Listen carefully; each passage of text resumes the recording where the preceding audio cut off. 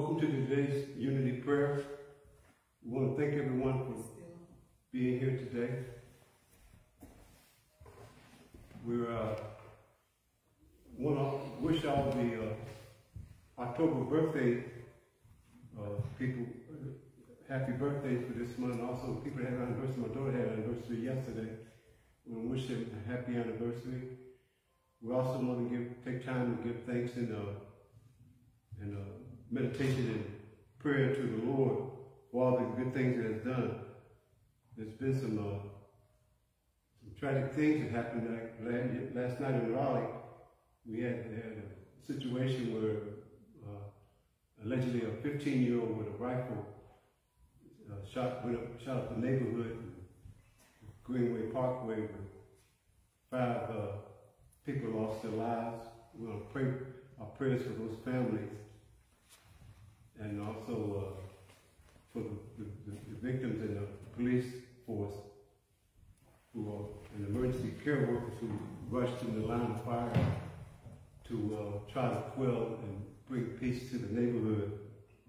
This month of October is Breast breast Cancer Awareness Month, so we'd like to remind everyone to get, get your uh, get your checkups and remind you, you know, talk to your your uh, parents your, mother, your mothers, your sisters, your aunts and your nieces, and anyone who uh, hasn't had a recently had it, just remind them that you know uh, early detection is one of the um, one of the major factors in the in the in uh, lowering the risk of, of harm to the situation.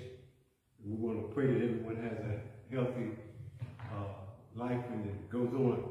The scripture was uh, for this week was Matthew, the fourth chapter, verse uh, 19. And the song uh, for, for this week was by Dottie Peoples on the YouTube was uh, with Unity Prayer was He's an on-time God. Yes, it is. And, it, and matter of fact, the scripture talks about the word come. And right there in the in the, one of the first lines of the lyrics, it says, he comes when you want him. He, he's always right on time. He's an on-time God. Yes, he is. Then uh, we want to go ahead and start with the scripture reading. Matthew 4th chapter, verse 19. Come, follow me, Jesus said, and I will send you out to fish for people. This is a comeliness to move toward and draw near or arrive. At work, you could decide to come out of your shell and come on like gangbusters, come up through the ranks, and perhaps see your professional dreams come true. At home, it's possible to come with a whisper of coming unglued, come to a screeching halt, come to your senses, or come back from the brink. You can come to the aid of a friend today, come full circle, come to a conclusion. Refuse to cross any bridge before you come to them. Just be sure that in all you're coming in and also you're going, you don't miss Jesus saying, come, follow me. The word come suggests movement. It tantalizes us with the possibility of change. You are one, you are in one place, but you have the opportunity to leave that place and go somewhere better.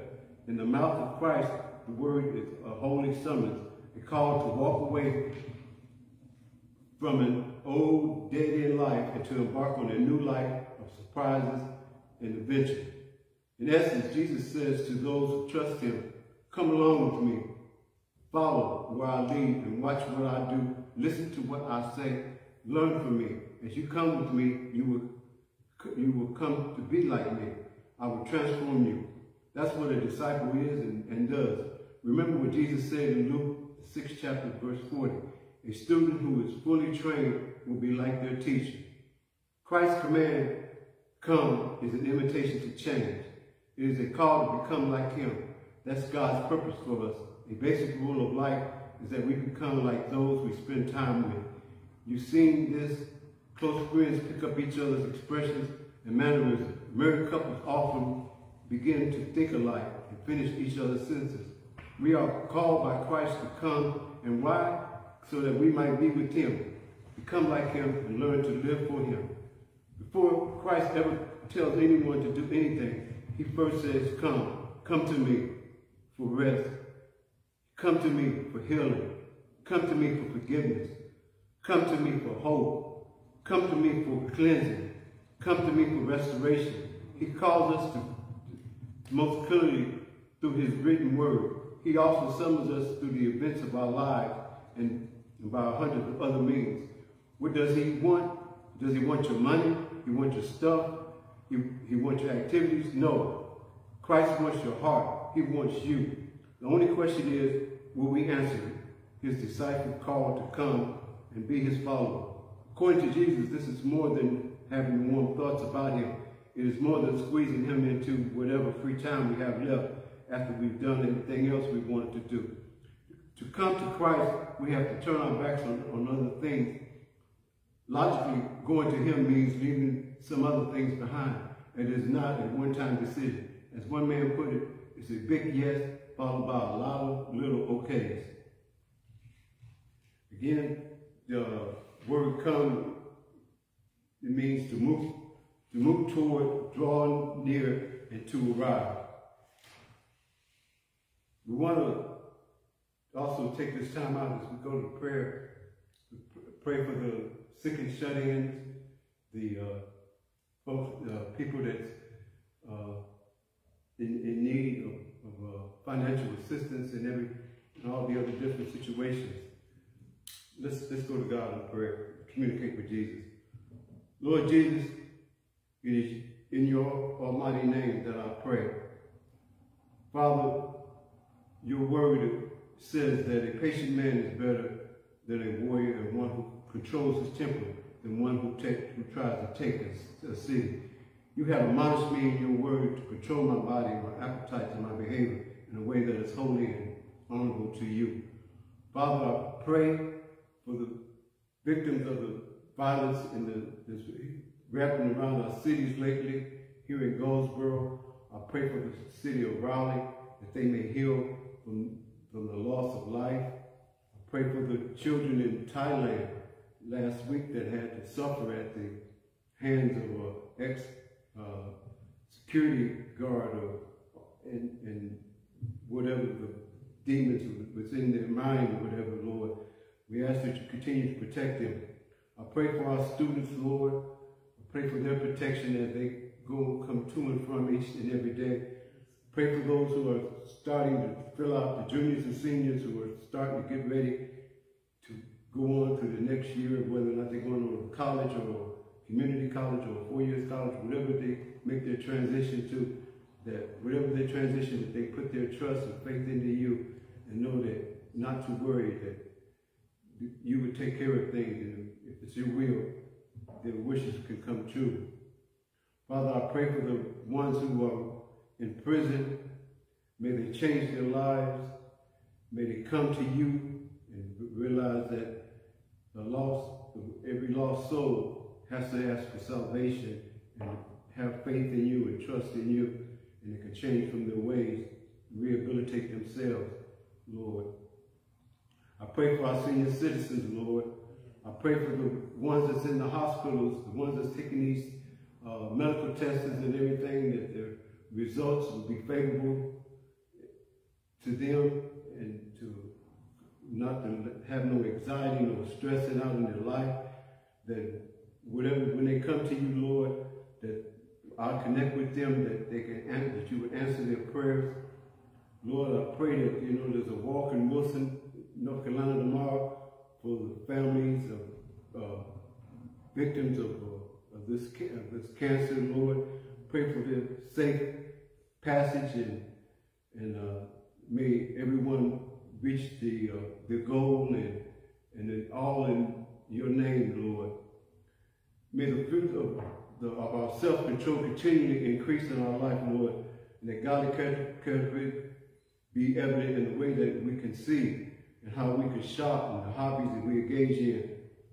May every aspect of who I am now be under the control of the Holy Spirit. I submit to you now in Jesus' name, Father.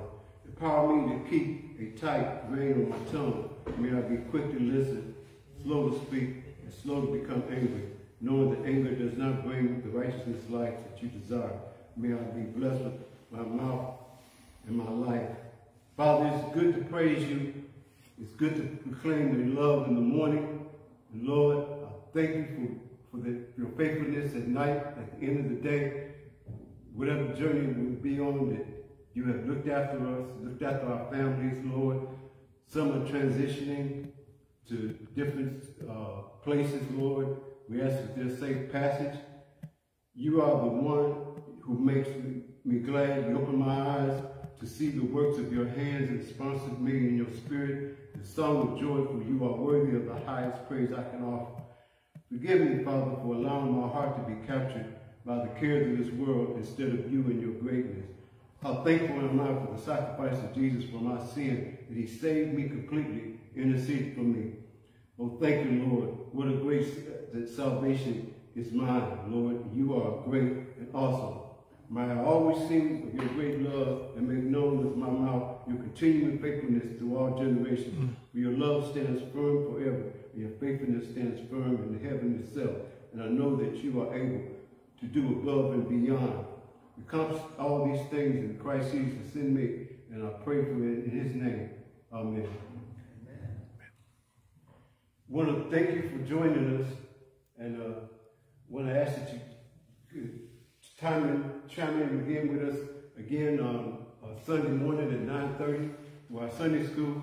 The Sunday school lesson is going to be uh, coming uh, from, from Judges, the sixth chapter, verses 1 through 27. Confidence provides necessary courage. And it's talking about answering, fulfilling the call of God in our lives that requires courage. Again, it comes along with our word of the day coming when the Lord calls us, he called Gideon as a judge to come forward and, and be, be of good courage to take care of what Yahweh said he would have done. And uh, we're going to have a good lesson on that. Join us for our speaker of the hour at 10.30. And uh, we ask that you also join us next Wednesday for Bible study where the pastor is continuing his uh, lesson on character education. Thank you for, like again, like I said, for joining us. We ask that you have a blessed weekend. Goodbye.